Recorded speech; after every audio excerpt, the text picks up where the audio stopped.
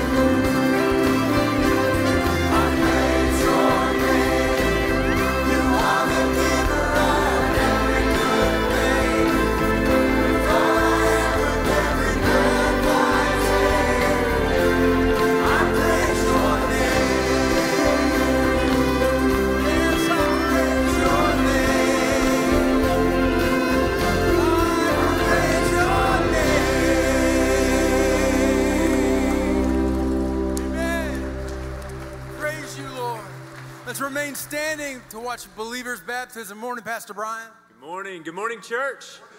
Good morning. We are so thankful that you chose to worship with us at Grace this morning. And we have seen a lot of baptisms over the last three weeks. Uh, and we're just so excited for what God is doing here. And so I'm here with my friend Layla, and Layla has something she would like to share with you all. I'm Layla, and Jesus is my Lord. Amen.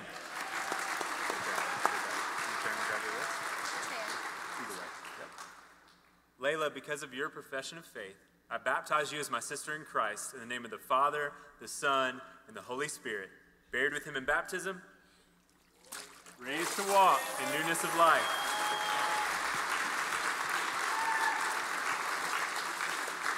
This is Layla's sister Lydia, and she also has something she'd like to share. My name is Lydia, and Jesus is my Lord and Savior. Amen. Amen. Lydia, because of your profession of faith, I baptized you as my sister in Christ in the name of the Father, the Son, and the Holy Spirit. Buried with him in baptism, raised to walk in newness of life. Good job.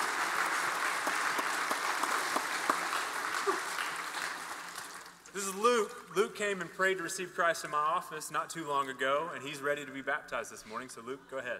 My name's Luke, and Jesus is my Lord and Savior. Amen. Good job, brother. Luke, because of your profession of faith, I baptize you as my brother in Christ. In the name of the Father, the Son, and the Holy Spirit. Buried with him in baptism, raised to walk in newness of life. Amen. I'll tell you, it's almost like a part of the Jordan River has been rerouted through Karns. You know, amen. Amen. Hey, uh, it's great to see everybody this morning. Real quick, we always want to let our guests know that uh, we do something special every Sunday.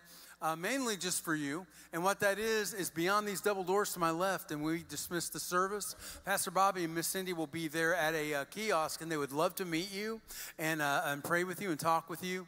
Uh, they also have a, a gift for you and they present a gift in your honor for being here. So, guests, be sure you take advantage of that. As always, Grace members, family, this is open to you as well. But we always want to make sure we let those guests go first, okay? All right, let's continue to worship the Lord. Let's go to Him in prayer together right now. Lord Jesus, uh, thank you for allowing us access to the Father. Lord, the veil was torn, the earth shook Lord God, even the dead were raised. And the power, God, of the death of Christ and the power of the resurrection that burst forth from the tomb, Lord God, that very power you said is within us through your Spirit. Lord God, you have been so incredibly good to us, and we overlook you so often. I know I do. We ask you, God, God, please forgive me of doing that because every good thing comes from you. You are a good, good Father. In the good times and the bad times, you are faithful. You will never leave us. And so, Lord, as we continue to sing this song, I pray, Lord God, you will receive it. And I pray, Lord, as your church, that we, we would lift this up in a faithful, authentic, and grateful way. And it's in your name we pray, Jesus. Amen. Let's sing this song together. I think we most know it. Most of us know it 10,000 Reasons, which is really kind of an underestimate, don't you think? Let's sing. Bless the Lord,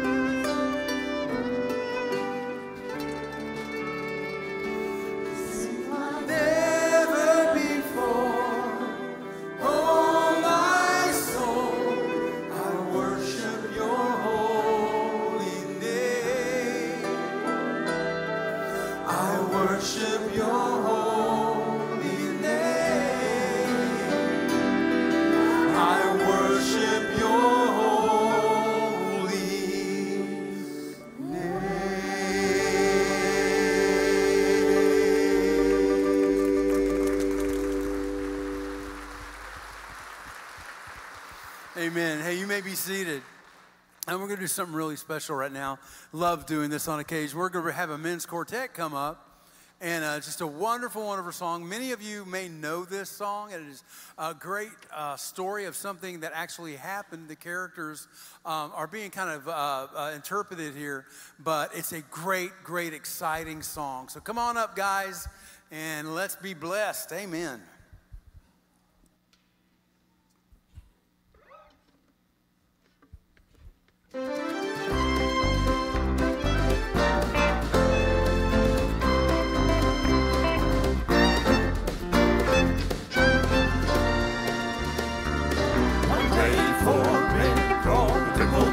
Jesus. Still and lifeless he lay upon his bed. He had not moved since he was just a baby. Still he longed to become a normal man. Now we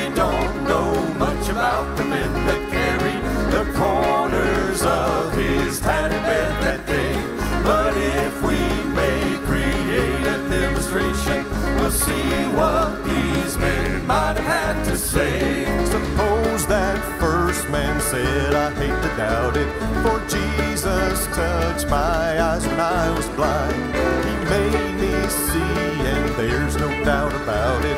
But this man's needs are more serious than mine. Suppose that second man said, No need to bother. This man's condition will remain the same. Though Jesus touched my hand when it was withered, I don't believe he can heal a man so lame. Suppose that third man said, I hate to question, but no one here is more skeptical than me. No, Jesus touched me when I was a leper, this helpless man will never walk, you see. Then every eye was turned to the fourth man to see how he might criticize and doubt. But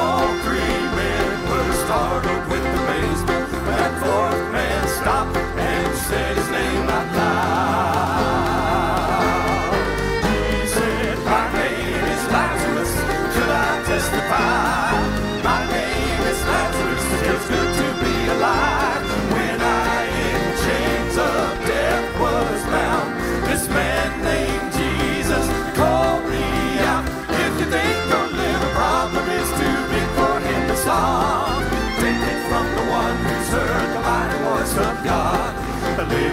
testimony of his death-defying touch. My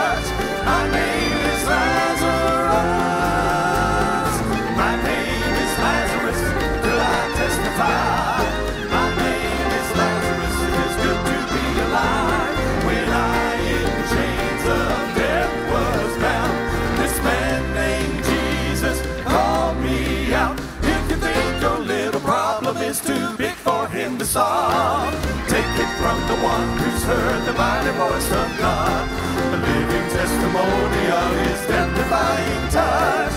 My name is Lazarus, a living testimony of his death-defying touch. Death-defying touch. My name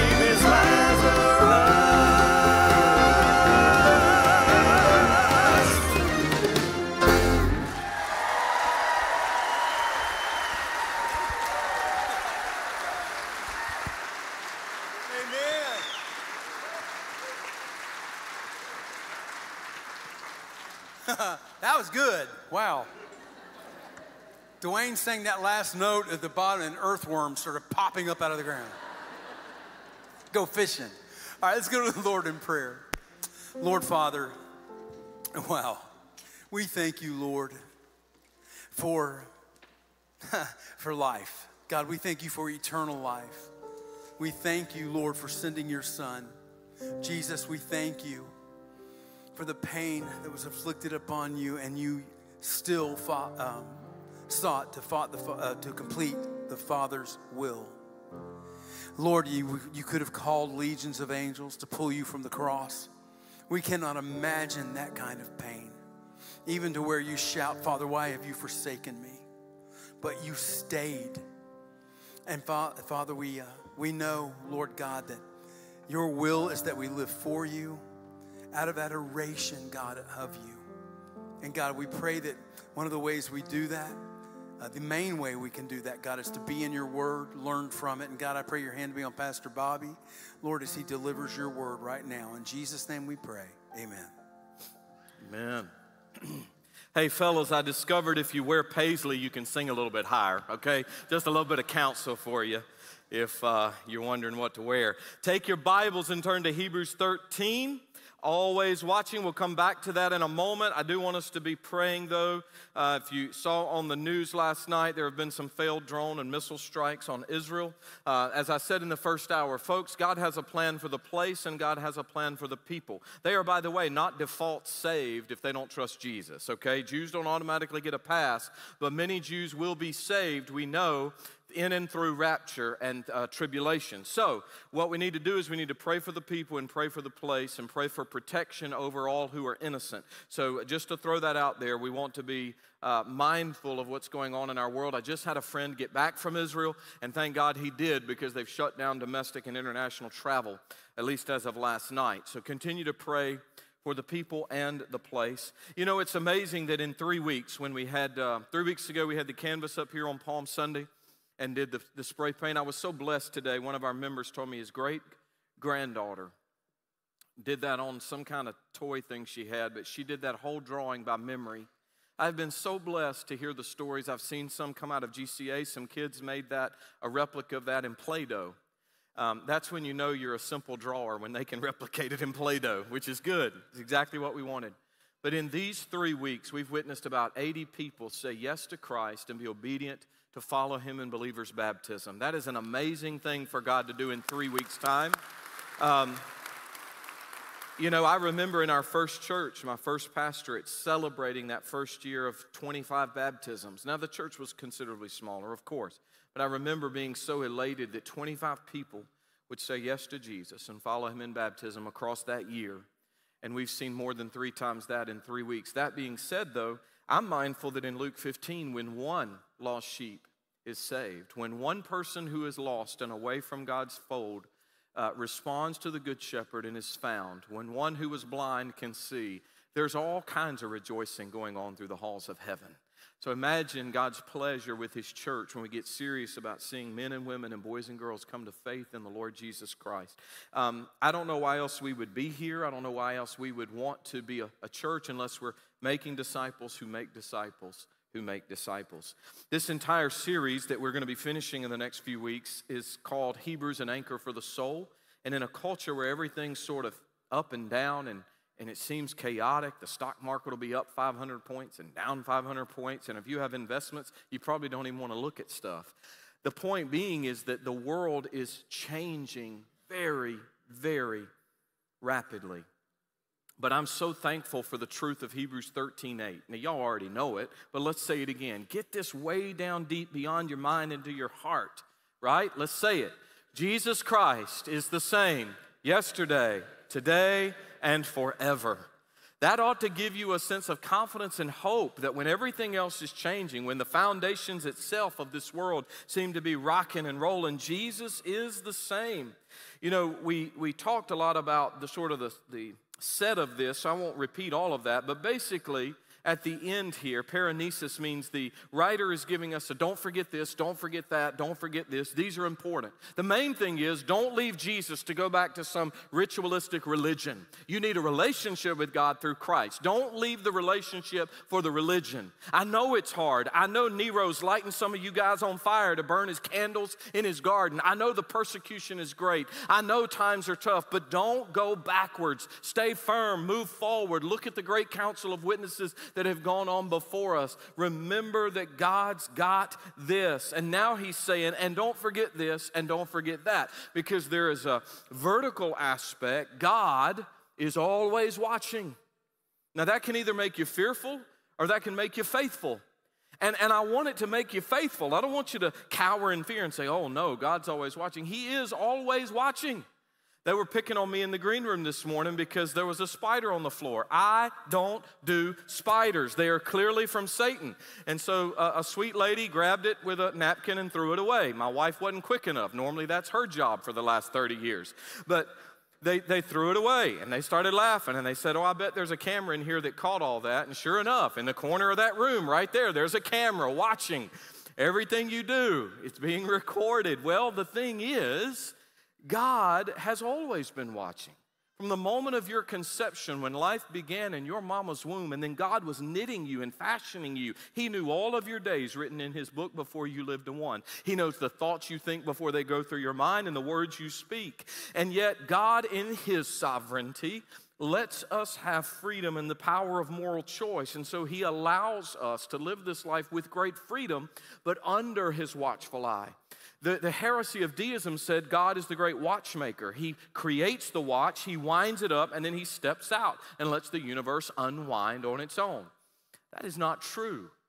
God did create it all. God did wind it up and get it all going, but God is intimately involved in the details of our life. He knows everything, and that's wonderful.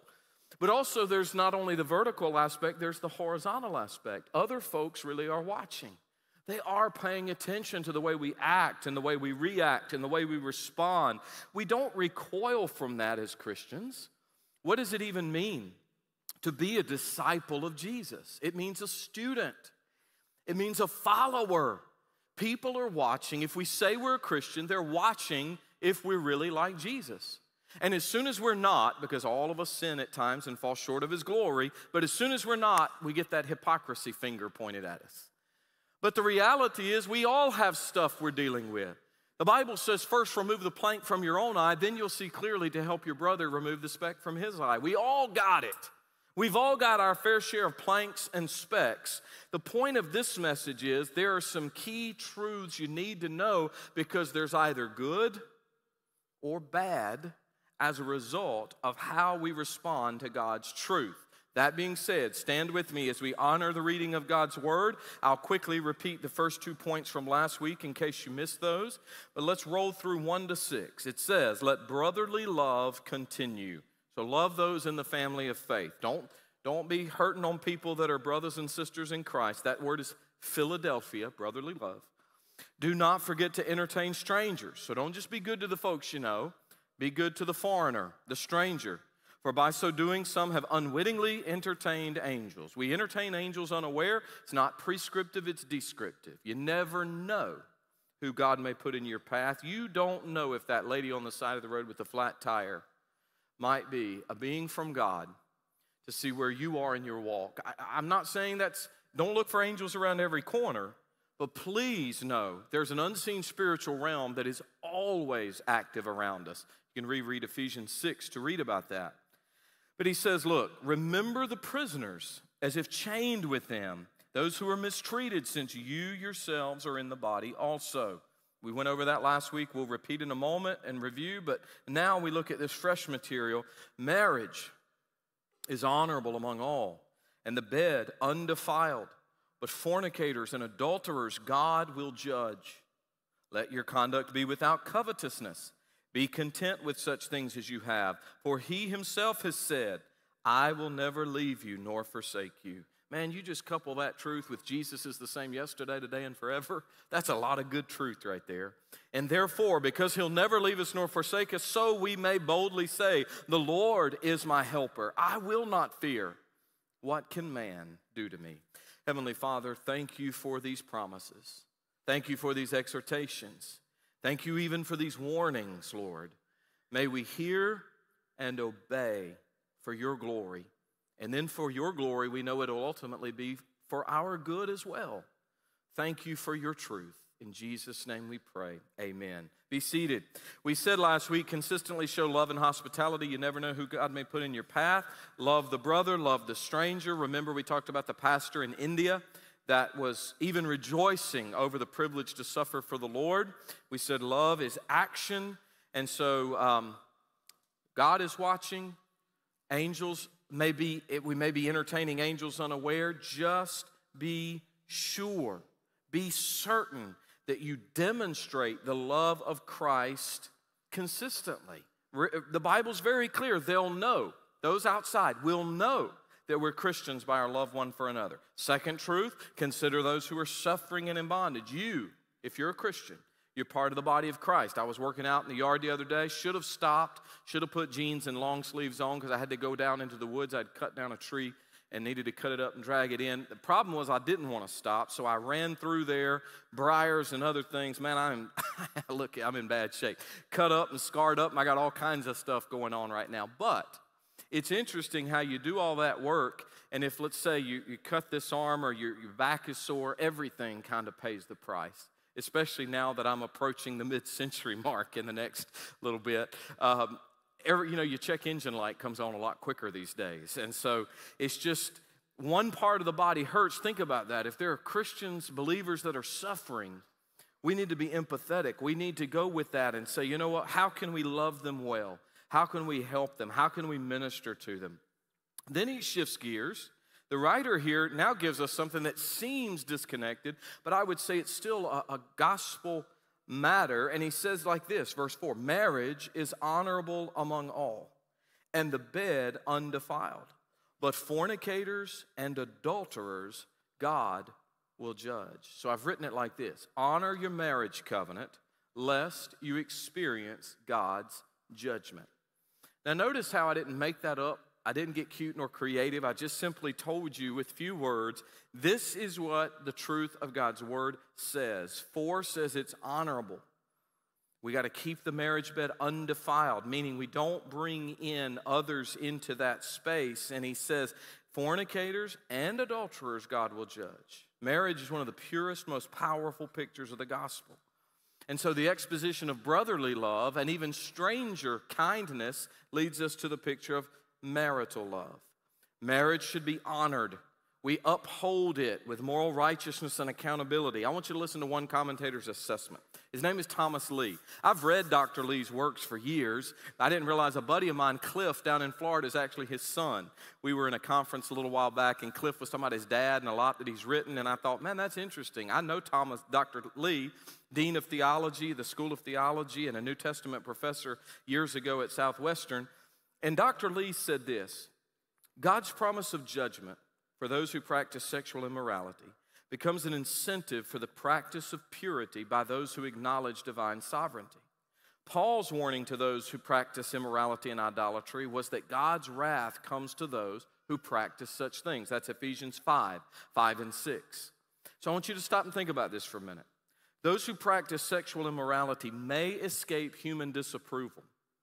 Because today, I mean, it's sort of a given.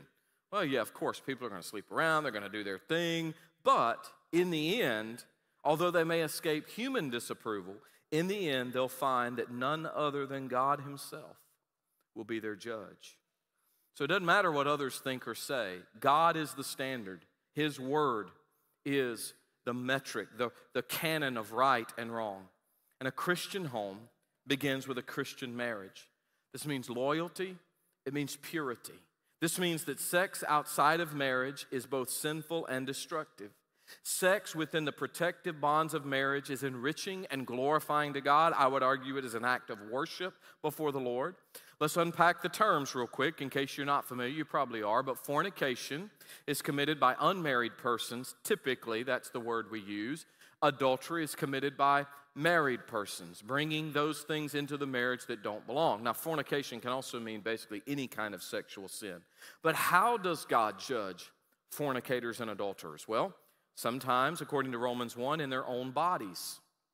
Sometimes there can be sickness, disease, and other things in their own bodies. We're not in the place of God. We can't say with an absolute certainty that this came from that, but the Bible does say in Romans 1 24 to 27 that he'll judge the body. Then there's a final judgment coming. Uh, Romans 21 8, Romans 22 15, all of these are in your notes. I want you to think about this. David committed adultery. David also fornicated. David with Bathsheba, when he took her, another man's wife, and lay with her, and she became pregnant, he entered into this horrible, horrible series of sins because it eventually led to the, the murder of her husband. David was forgiven. So if you're here today and you've fallen in sexual sin, know that God is more than able and ready and willing to forgive if you truly repent. Change your mind, change your direction on all of that. God is more than able to forgive. However, though God forgave David, who paid the ultimate price? I, I, would argue that probably David is one example of somebody who had the harshest or hardest judgment on that kind of sin because it wasn't just David that suffered. David still was a great king, David was a great leader, but his children suffered greatly because of his choices. Do you realize that his infant son died? The son of adultery with Bathsheba died. God, but David got up. He continued to worship the Lord. He said, Look, he'll not come back to me, but I'll go to be with him because babies that die are safe in the arms of the Lord Jesus. The Bible gives us plenty of evidence that they're before that age of moral accountability, and so they're taken to be with the Lord. But David's sons that did survive, you know the story of Absalom, I'm sure, they paid a very, very high price. And there was a lot of sexual sin that would follow in that family because David tried to cover up rather than open up and say, Look, I've done this and I've fallen. He did it eventually, but at first he tried to cover it up. And in our day when sexual sins are paraded as harmless entertainment all around us, the church should stand for the purity of the marriage bond and the marriage bed. A dedicated Christian home really is the nearest thing to heaven on earth. It's the nearest thing to the best picture of the gospel, and we, the church, should stand for it very clearly. We don't have to talk about it in any perverse, twisted, weird manner. You know there's plenty of sexual sin to go around.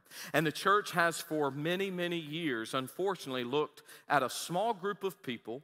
Now there are so many letters, I don't know what they all are, but let's say LGBTQ plus, and we've said, oh no, that's sin, that's wrong. And the Bible is very clear that we've been right on that. However, we've been very wrong in failing to say, by statistics, there's far more heterosexual sin going on around us. And we don't want to talk about that. We don't want to talk about people living together and almost invariably fornicating when they do so. And I want to tell you something about that. Here at Grace Baptist Church, we take this seriously. And if you're in a situation where you're involved in this kind of sin, come to us and let us help you set it right. Don't just go and, and say, I'm just going to shack up and live together because that's what every, everybody's doing. Do, do it God's way and be married in a covenant before God. You say, Well, I don't know if it's the right person. It's not about finding the right person, man. It's about being the right person. Get this Hollywood notion of soulmate out of your head. Get this sleepless in Seattle on top of the Empire State Building garbage out of your noggin. It ain't really working in Hollywood and it doesn't work in real life. Be the right person and do the right thing. Do you know our pastors regularly engage in helping people do the right thing? Even if they've had kids, even if they've been living together a long time, we want them to, to, to be blessed by the covenant bond of marriage. And it is different. As I said in the first service, no offense, sweet ladies, but you've all probably heard the phrase, why would the guy buy the cow when he gets the milk for free? You've probably heard that, right? And the reality is, this living together thing, it is not only bad for you in the eyes of God, fornicating is not only bad for you in the eyes of God, much less adultery, which I think we know that would be horrifically bad in the eyes of God, but you're missing God's great blessing of marriage. And you know, it's, it's why not set it right? Pastors and counselors are ready and available. A lot of churches are hiding their pastoral staffs now. You can't even directly email anybody. You can get on our website and you can go to every single pastor on this team and talk to us directly. You can reach out to us a myriad of ways and we will try to help you do this the right way. I'm telling you guys, I thought it was good 29 years ago. Almost 30 years ago when I met her. But 29 years ago when I married her, I thought it was amazing. But our marriage is even so much better because we invest in one another. Miss Cindy and I protect one another from our online accounts and passwords to phone access. Y'all, she knows where I'm at all the time.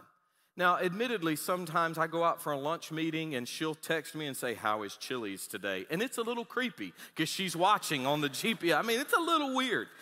But, but we share everything, all access, all the time, because she's looking out for me and I'm looking out for her, and we protect one another and we invest in one another. She had a great time at the women's retreat along with our daughters, and then Bobby and I had a great time doing some hunting and fishing. We got back together yesterday. Well, guess what? We went out on a date. We went out to have a nice meal, and then what every good date has to end in. We went to Walmart. You got to do that. So we had us a date, and we, we, we invest in one another.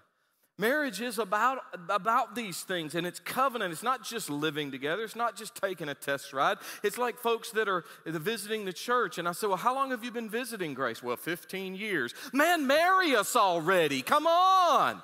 Beyonce, put a ring on it. Let's go. What are you waiting on? Give up the guest parking place and let somebody else park there, bub. It's time to commit. Commit already, right?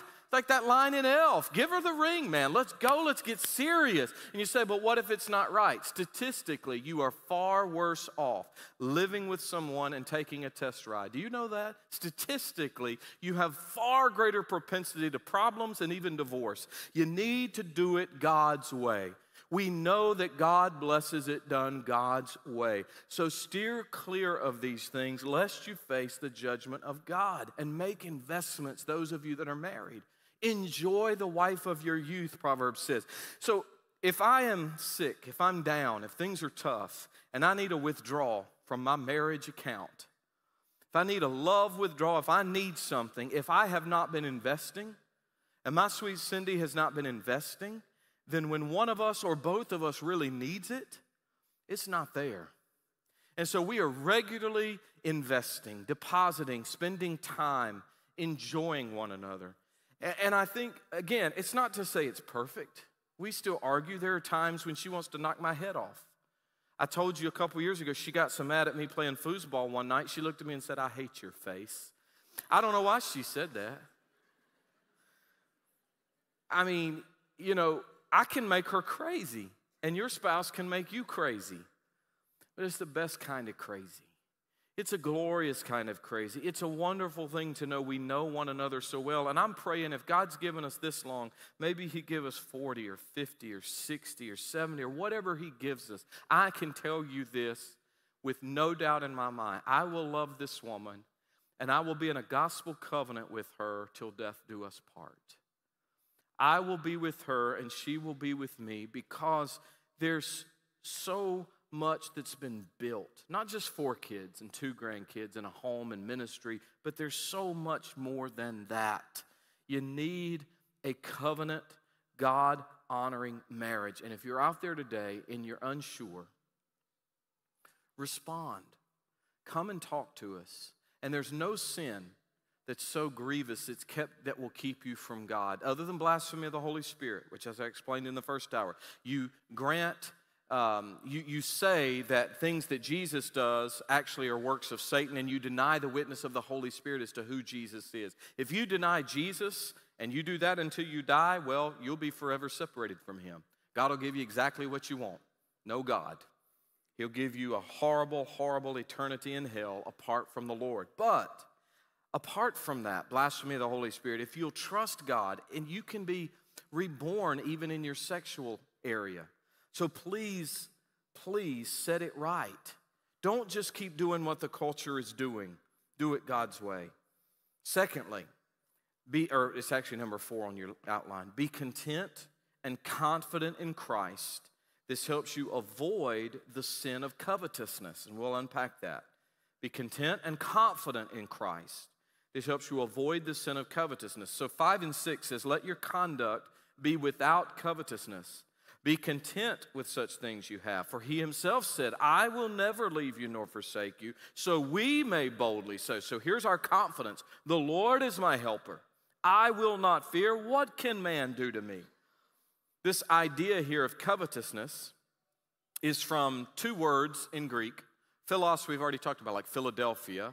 And Argos, this idea of silver. It's literally lover of silver with an A in front of it. So, no lover of silver. We often translate that not greedy for filthy lucre or no lover of money. And then it gets broader in the New Testament to basically mean if anything, If any material thing, money, stuff, if anything gets on the throne, that's a problem. That's covetousness. Covetousness means more than love of money, but it certainly starts with that. It's the desire for more or the desire for what we don't have. I want you to think about this in God's top 10, the big 10 commandments. The number 10 commandment is, Thou shalt not covet. He gets specific to thy neighbor's wife or the things that thy neighbor has, but thou shalt not covet means look, material things will never fully satisfy. How many of you have lived long enough to know it doesn't matter how nice the stuff is, at some point the stuff doesn't satisfy. Anybody else? The stuff doesn't satisfy. I have been by many, many deathbeds. As I told him in the first service, five different times I've prayed, and during the prayer, the person has passed away. So you probably don't want to call me to pray by your bed. I'm just going to tell you, I'm like the death angel coming through the door. But in all those cases, it was a relief to the family. There were families saying, you know, they've laid around suffering, it's been very tough. And I remember, I remember them all, but I remember the first one so vividly because it actually scared me. It scared me when I had come back from, uh, driven to seminary, come straight back, was praying with this family, 20 some people in the room, and the mother, the matriarch, passed in that prayer, during that prayer. But of all the times I've been beside of deathbeds and countless other times, nobody, nobody has ever talked about their stuff. Nobody's ever said, Let me show you this. It's always been the relationships, the people. There's been some regret at times for not spending the time as they should have with this person or that. But nobody's ever said, I wish I had more stuff. Time, family connection, of course. But let me also say money and stuff is not the root of the problem. It's never been. Do you realize the Bible is full of examples of wealthy people that God chooses to tap and use for His glory? Do you realize that in the course of human history, we wouldn't have a fraction of what we have, particularly with higher education, with medical advancement, with a lot of things. We wouldn't have even a fraction of what we have were it not for philanthropic Christians, people that love God, that love the Lord Jesus, and give out of the abundance of their wealth. We are so blessed around the world because of people of faith that have given. And by the way, it is far, far, far more in Christianity than any other major world religion. You cannot find a major world religion that gives and helps people like Christianity and like Christian people. But it is not the wealth that's the problem, it's not the stuff that's the problem. In fact, Solomon prayed and God gave him great wisdom, the wisest man of his time, and yet God said, I'm also going to give you the wealth. I'm also going to bless you with a lot of money. And then, of course, there were other problems in his life, but the love of money the love of stuff is the problem. 1 Timothy 6:10. The love of money is the root of all kinds of evil. For some people eager for it have wandered away from the faith and pierced themselves with many griefs. Y'all seen like uh, you, the, there's a show something like the lottery ruined my life. And I'm thinking you just won 50 mil and it got worse for you. What's wrong with you? But it's priority. It's what do we put first? Who or what is first? Remember the rich young ruler, Matthew 19. Uh, he asked Jesus, What good thing must I do to inherit eternal life? Now, he didn't get it right out of the gate. You don't do anything to inherit, right? But he said, What, what do I do, Jesus? And Jesus said, If you want to be perfect or mature, go sell what you have, give to the poor, then you'll have treasure in heaven, and come follow me. Now, was Jesus really saying meritorious uh, salvation, works based? Hey, hey, rich man, do this and you'll be saved. No, Jesus is saying, I know you're God. Jesus is saying, I know who's first in your life. And it's all of that stuff, and it's all of that wealth. And Jesus said, Show me that I'm first. Go give that stuff away, and then you're ready to follow. But the rich young ruler, it says, he heard this saying and he went away sorrowful, for he had great possessions. Bible says it's actually easier for a camel to pass through the eye of a needle than a rich man to enter the kingdom of heaven. Doesn't mean the wealthy won't be there. Many, many, many wonderful, godly, wealthy people will be there. It is when the wealth becomes your God.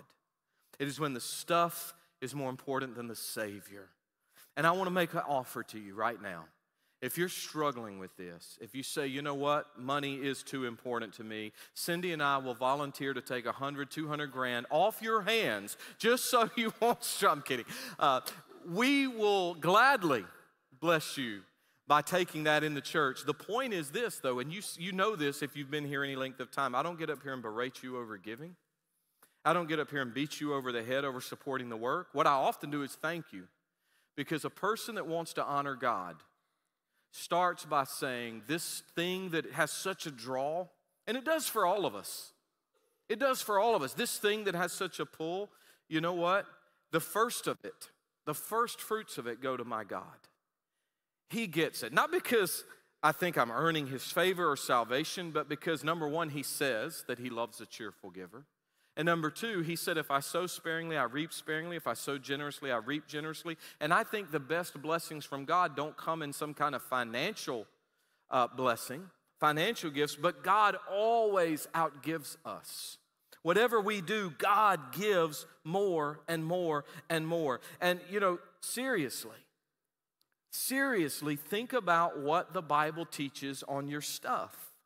We are stewards, managers, everything in your wallet, everything in your bank account or investments, your kids, your career, your cars, your home, everything is the Lord's on loan for a little while. You say, How do you know that, Pastor? Because of all those deathbeds and all those funerals, nobody's ever taken one penny with them. Because something that's helped me my whole life, as long as I can remember, I've thought this way. Our gold is God's asphalt. Let's let that sit. The very best, shiny, cool things we have that would be a picture of wealth will be walked on under your feet in glory. Our pearls and our jewels are His gates, our gold is His asphalt. Don't put so much stock in the things where moth can come in and rust can destroy and people can take. Don't put so much stock in that.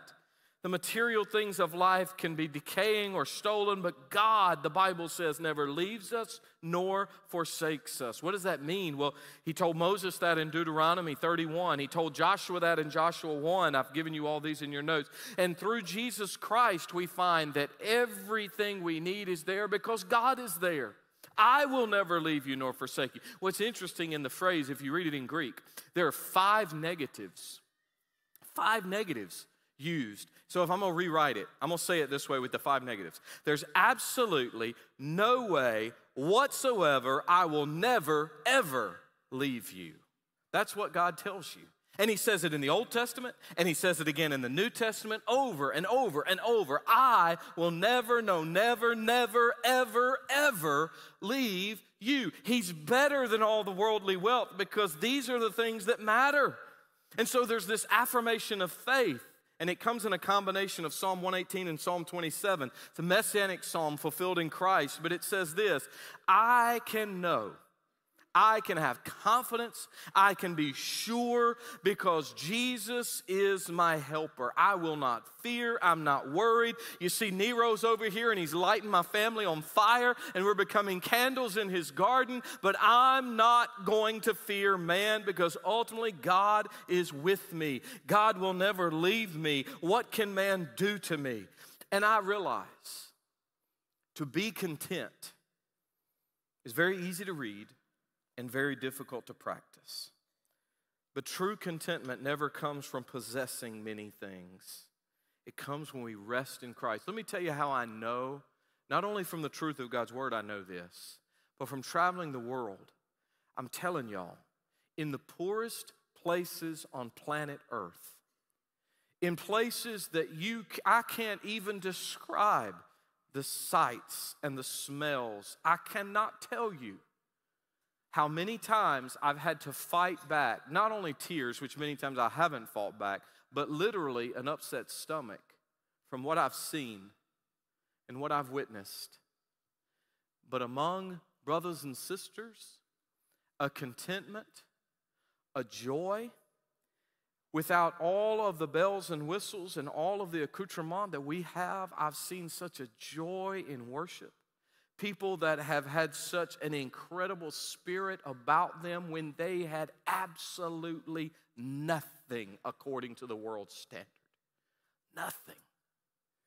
And there's such a joy in their life. And then you look at the average sports star, Hollywood actor, actress, you look at how their families, so many, not all, but so, so, so many, are tragically dysfunctional.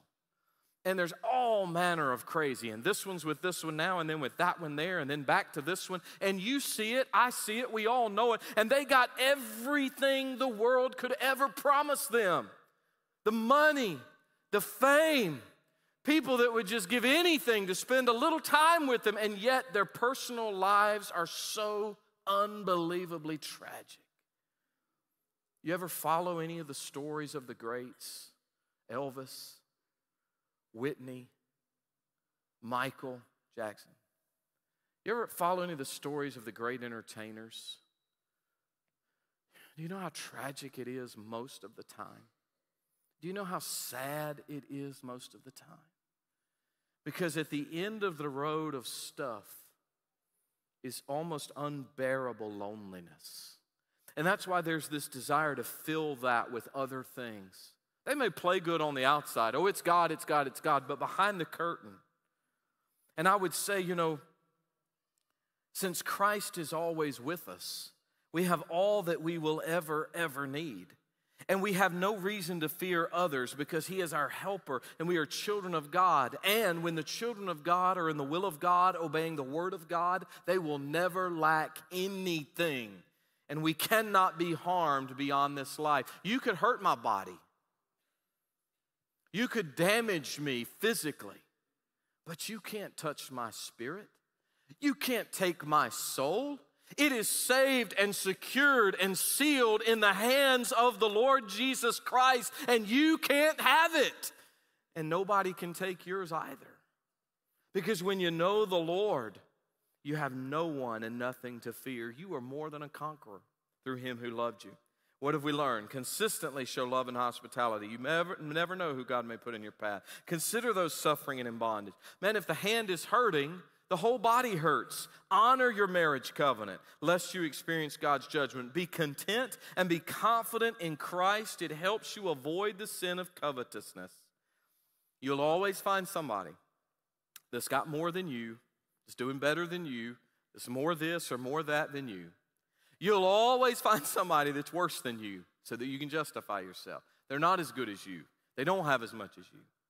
Your standard is not the other guy. Your standard is the Lord Jesus Christ alone. And when you know He is your standard, you know that you need His mercy and grace. You know you've fallen short of Him. You know you must come to Him humbly and broken so that He can put you back together. I want to close with a clip. We started with a clip. Did we rewatch the clip in this service or just the first? Oh, you didn't see Roz again? You remember Roz from last week? Watching, always watching? You could do the voice, honey, if you want to come up and get a mic. No? Holly can do it really well. Yeah, so she's watching Wazowski, always watching. But I want to end with another clip. I showed it in the first, I forgot to re-show it. But if you haven't seen it, Monsters Inc., there you go. I don't want you to walk out of here going, oh no, oh no, and be paranoid. God is watching, everybody else is watching. Yes, that's true. That's a wonderful thing. God's watching, He's got your back, He's got your front, He's got your sides. God's for you, He's with you. But He's not for you in the way Joel Osteen, since I picked on him in the first, I might as well pick on him in the second, so that the snowflakes can write me in this service too. Joel Osteen likes to say, God is for you. He wants you to have the promotion. God is for you, but He may not want you to have the promotion. What God is for is His glory. And by the way, speaking of Pastor Joel, he's a motivational speaker and fine as a motivational speaker. But the reality is, the kind of prosperity gospel that he's touting is simply not in line with what the Word of God teaches. What the Word of God teaches is your stuff is not as important as your Savior. And if you try to rub a cosmic lamp the right way and get God to be your genie to give you what you want, and if your faith is just right, He'll pop up and give you all of that, you don't know the God of the Bible. You need to trust that God is with you, and God will be the God of the mountain and God will be the God of the valley. And so, this little video, I think, in just a minute or so, sums it up really, really well. Watch this.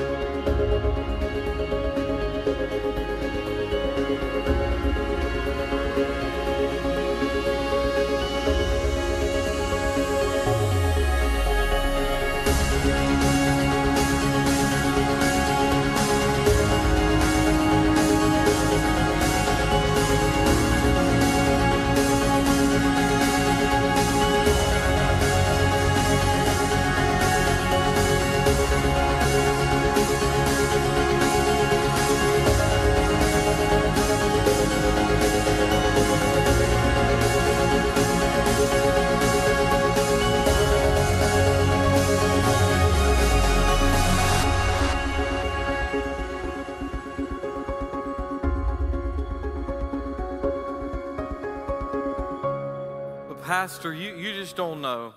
You stand up there and you say all that, you don't know how hard it is. You don't know what I'm facing. You don't know how high the stack of bills are.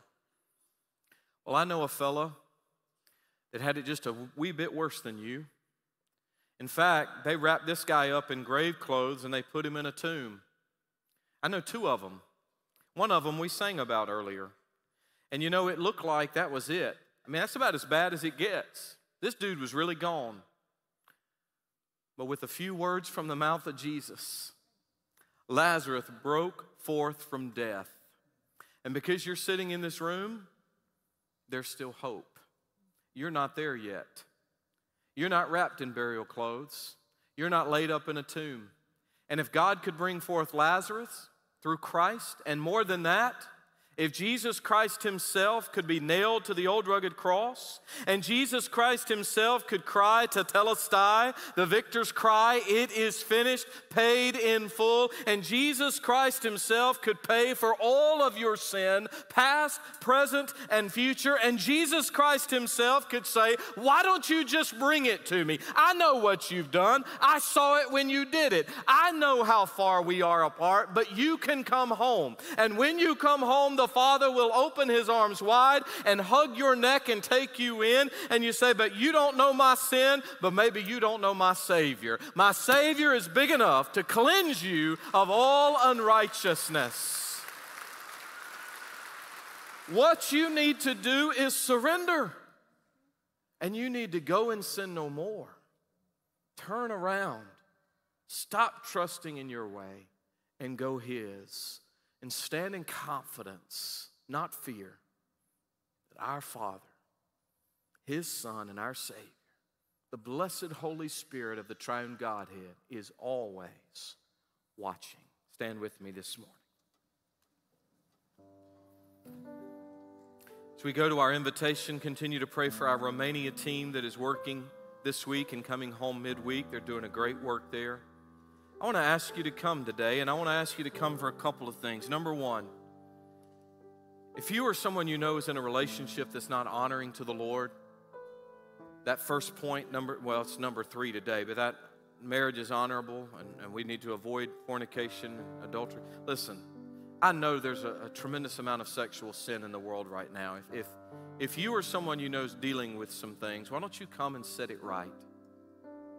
Why don't you come and be reborn in this area? Why don't you come and you can just pray or preferably take a pastor or counselor by the hand and let us help you. Let us walk with you in doing this God's way and getting God's blessing. I know sometimes, well, what will they think if I come forward? Who cares, man? Who cares? People don't think about you as much as you think they think about you. One of the things we all struggle with is pride, and we think people think about us a lot. Truth is, they don't. And you coming to pray could be for you, could be for someone else, but I know we have some pain in this area. I know we have some sin to deal with in this area. Why don't we just lay it before the Lord and be done with it? and not pick it up and take it out of the room. We would love to help you. Okay, so Siri's talking to me now. Look, God already knows. Why don't you come clean and get right? If also there is any sense in you that, you know, I, I, struggle with comparison and coveting and looking at what this guy's got or what that guy's got, listen, let that go. When you have Christ, you have all that you need. When you have Christ, you have absolutely everything you need. So please just let it go and trust the Lord. I, I, feel like today some people need to come and lay some things down, and I know there are some folks that need to come and intercede. Somebody in your friend group or family is hurting or struggling or out of God's will, and the last thing I want is for them to see the judgment of God. You don't want to experience that. You don't want them to experience that. You want to see the mercies of God. But the reality is, some preachers never ever want to talk about the judgment of God. It is a real thing. And you don't want to be under that judgment. So come. Come for you, come for others, but come. Heavenly Father, thank you for today. Thank you for the truth of your word. In these final exhortations of Hebrews, it seems like we're hopping around a bit, but the writer's saying, look, this is important too. And don't forget this. He's not ever asking us to go back into religious ritual. He's saying, have a real relationship that really changes your life. It really changes your marriage. It, it really changes the way you look at the stuff in the world. Because the stuff isn't getting us to glory, the Savior gets us to glory. Thank you for Jesus, in whose name we pray. Amen. Come on, guys, the altar's open. Are you hurting and broken within? Overwhelmed by the weight of your sin? Jesus is calling. Have you come to end of yourself?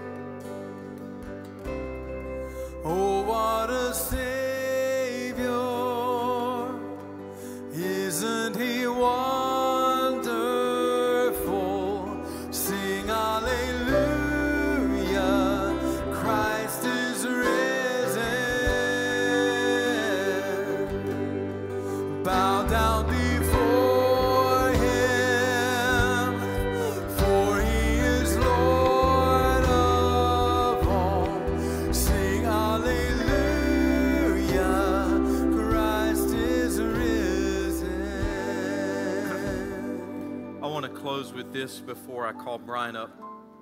A number of times in Florida, I met um, some older folks in our church family that were living together and unmarried. It was interesting to me because I really had never seen that where I grew up. And, and of course, I would say to them, Why don't you let us walk you through counseling and let's, let's, you need to be in God's covenant of marriage. I mean, you're adults. If you're living together, I assume. And they were like, Oh, yeah, yeah, yeah, yeah. I was assuming right. And so, well, why don't you get this right and do it God's way? Well, Pastor, you don't understand. We lose benefits, and then they'd start spouting like tax stuff and government stuff. And if they got married, they would be worse off financially. And I want to say to you if you are that far from God, you need to straighten up and fly right. If you think Uncle Sam is more important than King Jesus, you got a problem. And you need to repent. And I told some folks, made some mad, and some got right with the Lord and got married later in life. But I said, Look, do you believe that God not only is the owner of the cattle on a thousand hills, but the hills themselves? And they'd say, Well, yeah. But do you not think God can take care of you according to his riches and glory? People will use every excuse in the book. Well, we got to live together, preacher. We got to try things out and see if we're compatible. You never know, even in the bedroom. We got to know if we're compatible. Are you a dude? Is she a lady? You're compatible. You got me. I didn't say a dude, dude or lady, lady. I said, if you're a dude and she's a lady, God made you compatible. Get over it.